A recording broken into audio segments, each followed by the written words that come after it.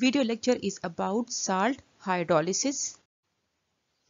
So before going to salt hydrolysis, first we will know about the salt. So salt is an ionic compound that is formed by the reaction between an acid and a base. We know that salts are electrolytes. Electrolytes are those species which will produce or which will split into ions by the passage of electricity. Some electrolytes or some salts are strong electrolytes while the others are weak electrolytes. Strong electrolytes mean that they will produce ions to large extent or they will produce ions to larger degree and the weak electrolyte mean that they will produce ions to smaller extent. So the hydrolysis is the reaction of anion and cation with water accompanied by the cleavage of water HOH bond. So this is known as hydrolysis when the cation and anions are formed and they will interact with water. And the salt hydrolysis is the reaction of anion and cation or both the ions with water to produce an acidic, basic and neutral solution. So salt hydrolysis mean it is the interaction of cation or anion or both with water and it will produce changes in pH which mean that it will produce either acidic, basic or neutral solution.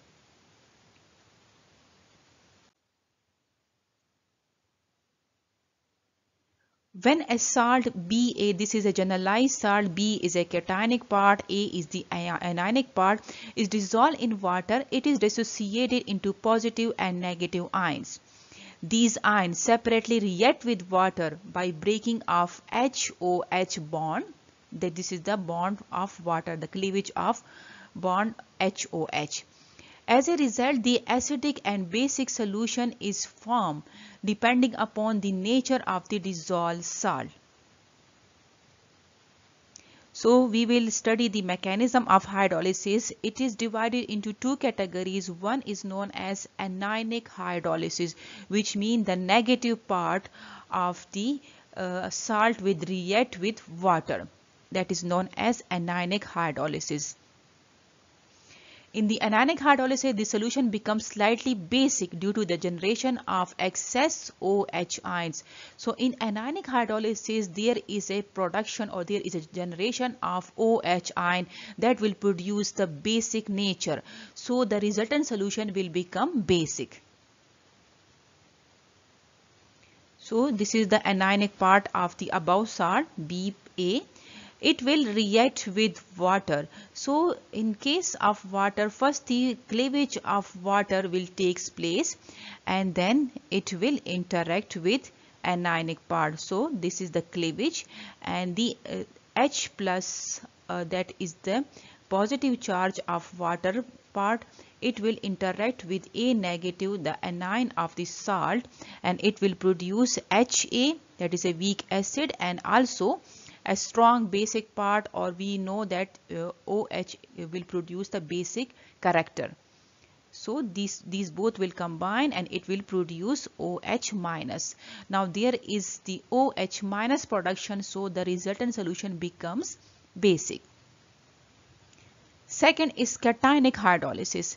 Now the cationic part, the positive part of the salt, it will interact with water and it will produce excess H ions. Now excess H ion will produce a acidic nature. So the resultant solution become acidic due to this excess H ion. Now we will know about the reaction. This is the cationic part of the salt and it will interact with uh, water. So due to the electrostatic attraction so it will interact with OH part of the water. So first the water will be cleavage and the OH part of the water will interact with cation. It will produce BOH and H plus. Now this H plus will uh, will give the acidic nature to the resultant solution now the pH of the resultant solution will be less than 7. Classification of salt based on hydrolysis. The different salt may be classified into following types according to their hydrolysis behavior. salt of weak acid and strong bases, salt of weak bases and strong acid, and salt of weak acid and weak bases, and the salt that is formed from strong acid and strong bases. All these uh, interaction will depend upon the resultant pH or this classification is based on the resultant pH. So the pH of the resultant solution determine the acidic, basic and neutral nature of the salt. First one is salt of weak acid and strong bases. So this uh, salt uh, hydrolysis is divided into two, three categories.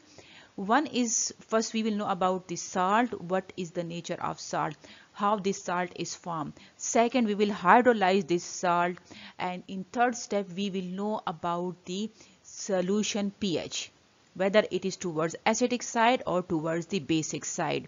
So we will study one by one salt salt is formed from weak acid and strong bases. So here the weak acid is acetic acid and the strong base is sodium hydroxide.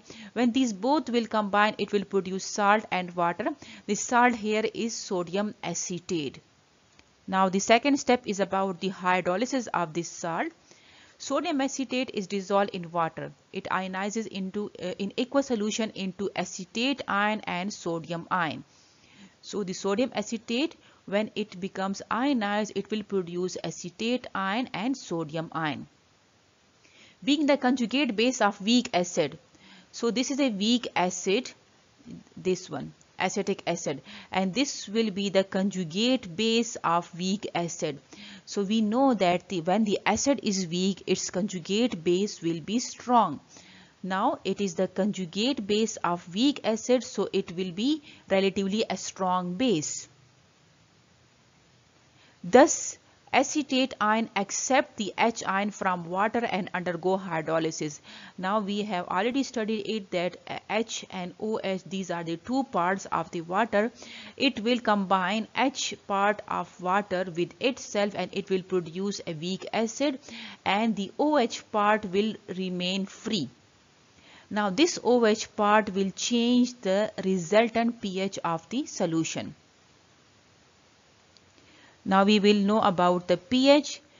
The resulting uh, solution is slightly basic due to the excess OH ion present. So here the OH ion are present and the H ion of water are consumed by the acetate ion in order to produce the acetic acid, weak acid and the OH ion will be free or it will be present as OH ion. So this the resultant solution will become slightly basic because the OH ion will produce a basic nature to the uh, solution. Now this is the basic salt, example of basic salt.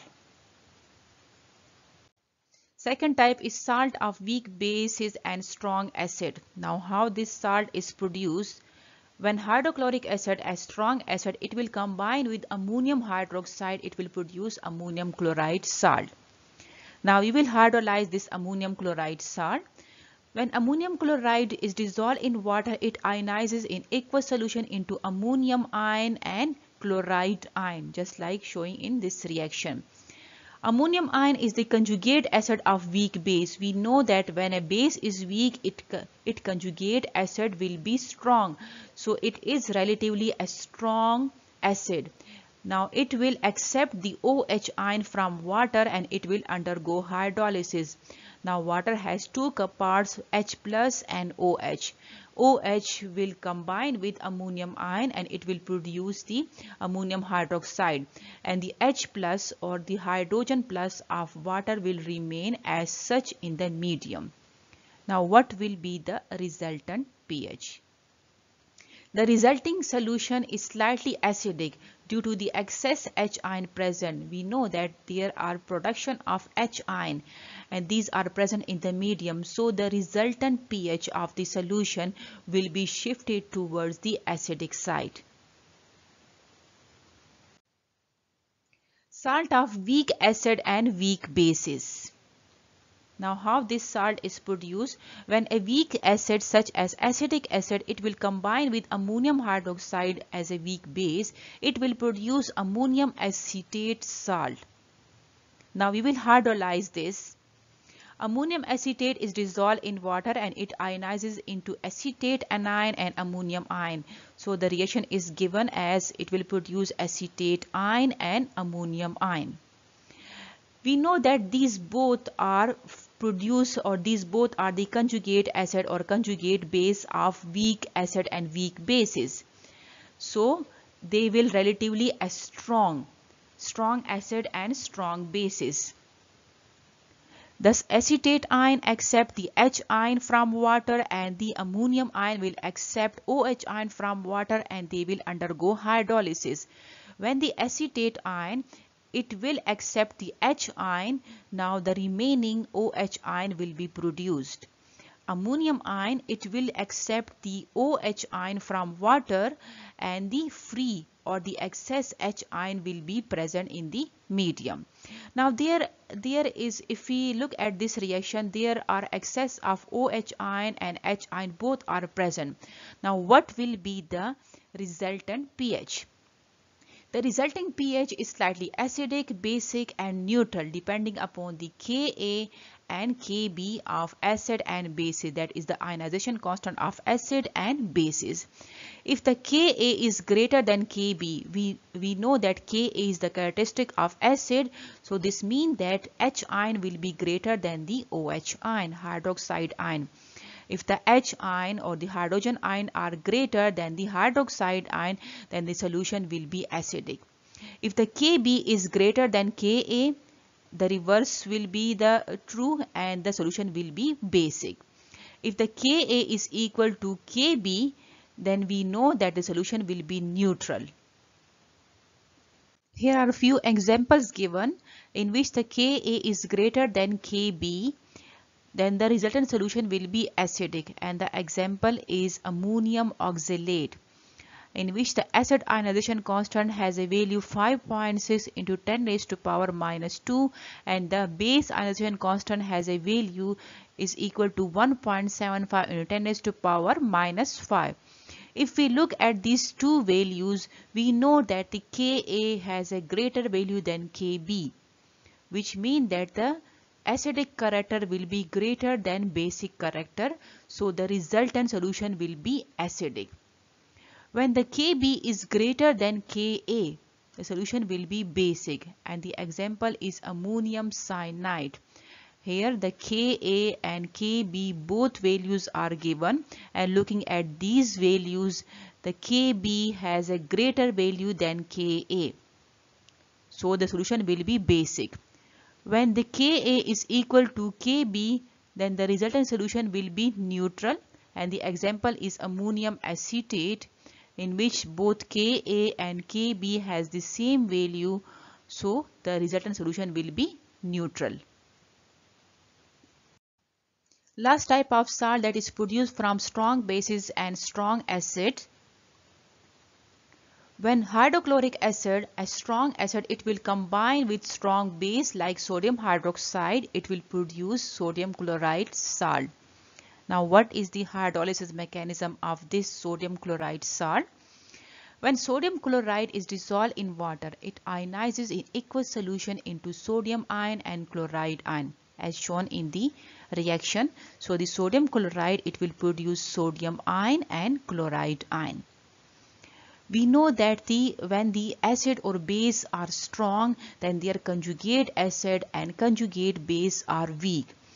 Now sodium ion that is the conjugate acid of strong base so it is a weak acid. Similarly, the chloride ion that is the conjugate base of strong acid, so it is a weak base. So this sodium ion which is a weak conjugate uh, acid and chloride ion which is a weak conjugate base, they will not accept any uh, OH ion and H ion from water which mean that they will not hydrolyze and they will not produce any H and OH ion or which mean that they will not produce any uh, pH change in the solution. So this reaction will not takes place. What will be the resultant pH of the solution? The pH of the resulting solution will remain unaffected and we can say that it is neutral.